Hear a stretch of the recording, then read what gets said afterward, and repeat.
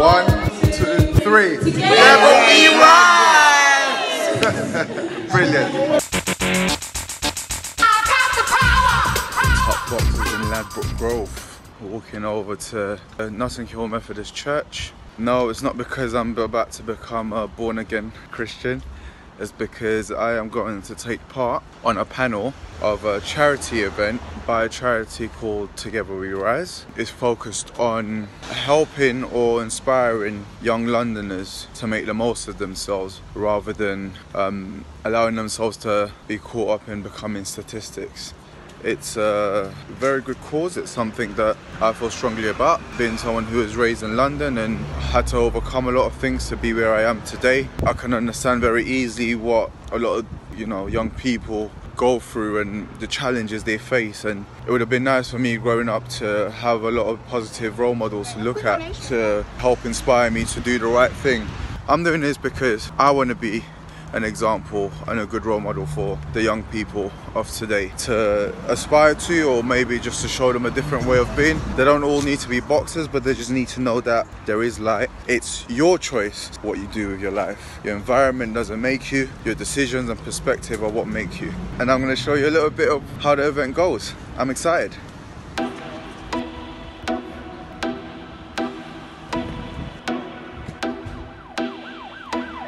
Mr. 10 gives, Mr. 10 gives, Mr. 10, 10, 10, 10, 10. See what's going on, it? Hope you don't enjoy. This guy's inspirational.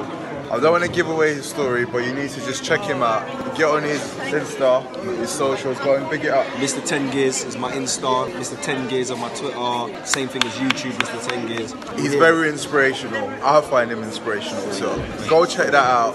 When we're making it look, 'cause man's got bars in it. Man's got bars. I got Just- bars. just- just- get me. just- get- I got your DM, Drop the I- I rhythm. you. Drop the rhythm. I'll Drop get it now, you to the drop it now, stars. drop it now. Yo, when you gonna when you gonna take me out to a fight? bro, my next. I need a ticket. I like boxing. Okay, so that's Lady Ralph Lauren. Give him some love for a minute, man. Hi, Why does that come in and dip in So and he's gonna win his next match, so I need to come and see if he can win his You next will. match. Can you see him on a catwalk for Ralph Lauren? She, she told she told me she's gonna make me the first Ralph Lauren black ambassador. I joke. Right. So we're out here in the Nigerian High Commission celebrating Larry Ekundayo's achievements. I'm famous now. yes. Finally, Larry, you know our vlog, can't right? Have you heard about my vlog? I'm a who? My YouTube vlog. No, I haven't. No. What, what is it called? It's called a top boxer vlog. What else would it be called? Inspiring the likes of me to represent Nigeria truly. not? You see, a green and white on my shorts, partly influenced. I should charge you. Man said you should charge me. Do you know what? Not at all influenced by Larry. Guess Tonight. what? Guess what? Guess what? Nigeria getting behind its own. No, it's good to be here. It's good to see Nigeria getting behind their own. This inspires me to represent Nigeria a lot more, obviously. Look at that. Another one. He's been doing this all night for about two hours. Real support. So baby, do you really wanna get it? Baby, you really wanna get it? Baby, you should really come and get it. You should really come and get it. The way you're looking, boy, you gon' get it. And if I give you hope, you gon' take it. I just got taught how to do the shaku shaku, which is a Nigerian dance. Obviously, being a natural, I pick things up quick. So you saw all the way I just quick things. Hey everyone, my name is Vera, voice every race accepts. The number one UK Afrobeats queen. So you can go check out my stuff. You can follow me at Vera underscore Wow, the plug. T-U-N-E-S. Thank you. I'm gonna be singing him into the ring soon, yeah? So watch out. Watch out, watch out, watch out. You heard it here first. Hey, hey, don't- Right now,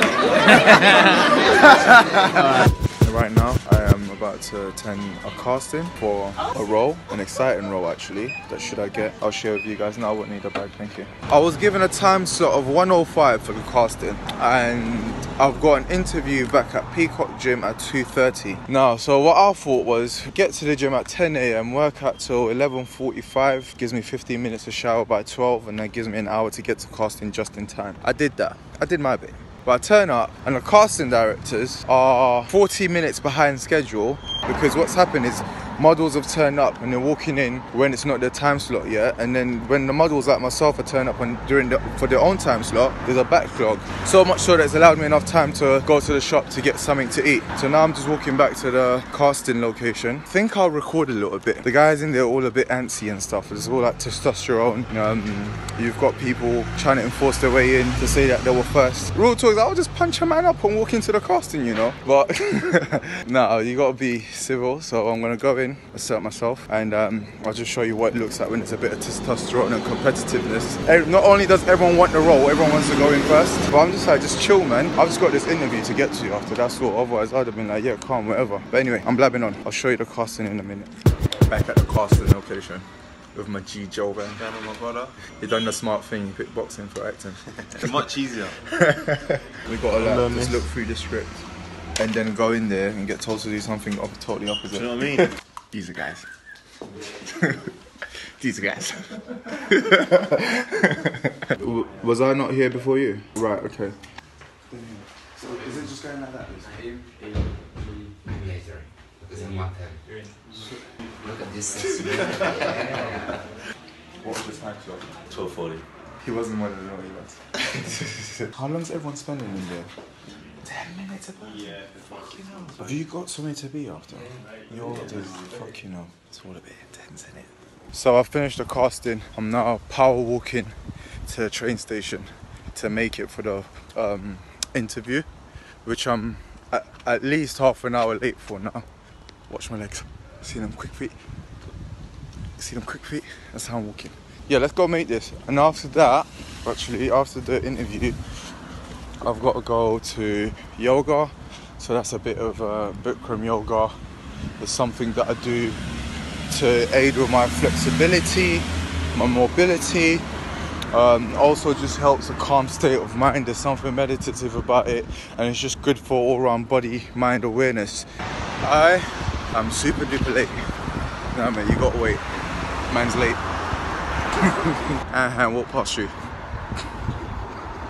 Walk past you.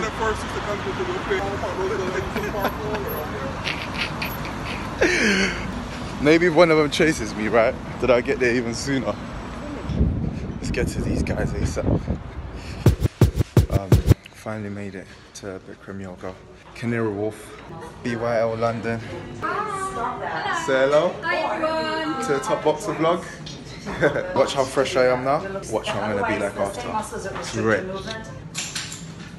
Here's a result. Very wet mat. So can tell. See how heavy that is? Yeah. So that's what it's like right after. yeah. Yoga's good though, man. I feel fresh. This is what happens, kids, once you go past 30. Yeah, it's no longer the clubs. it's Ray's birthday. Happy birthday!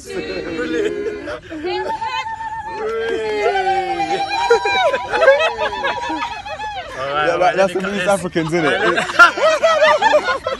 it becomes more about the things that matter, like quality time with the people you love.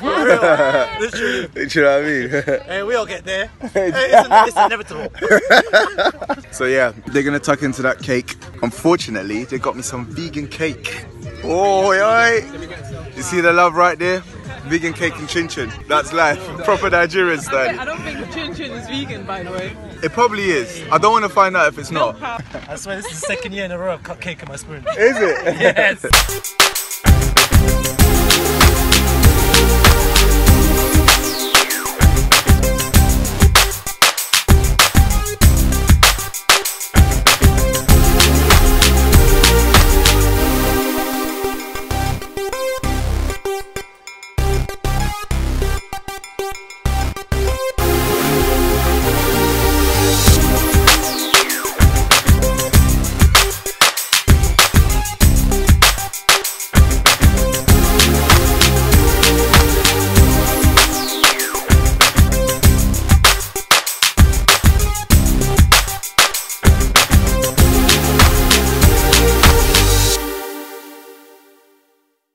Bring 'em out, bring 'em out.